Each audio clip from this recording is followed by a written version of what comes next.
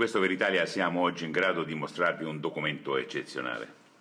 Due ragazzi russi, mentre si aggiravano a passeggio in una landa desolata, in una vera e propria steppa, si sono imbattuti in un elemento curioso, in un elemento particolare. Un animale che era rimasto incastrato nella sua tana.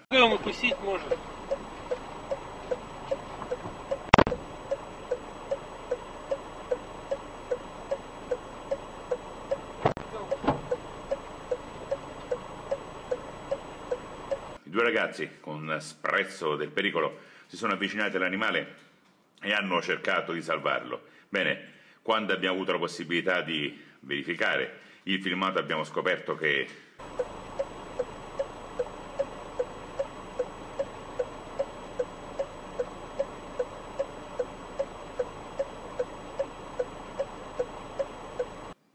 è il citello, il citello della mano.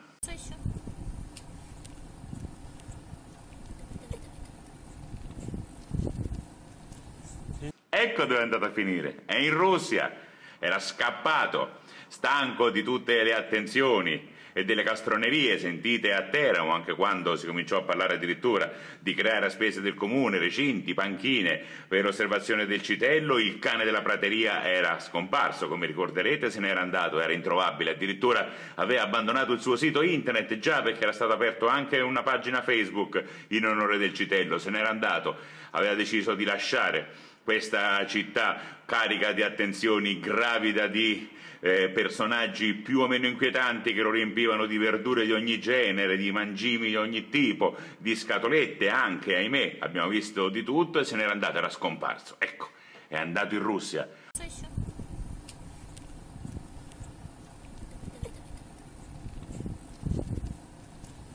Era andato in Russia dove sta cercando di smaltire, con qualche difficoltà, come si nota dalle immagini, tutto il grasso accumulato nel periodo teramano. Gravido di virtù, il citello si aggira per la steppa, in attesa che qualche eh, beh, persona di buon cuore lo salvi dalle tanne nelle quali va ad incastrarsi. Bene, è salvo.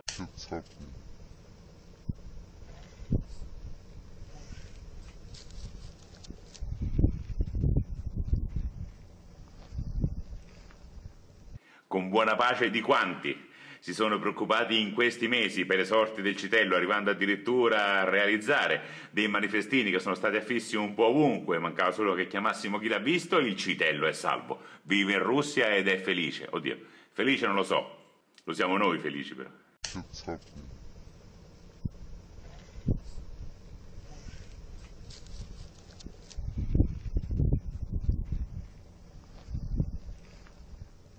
hereditaria.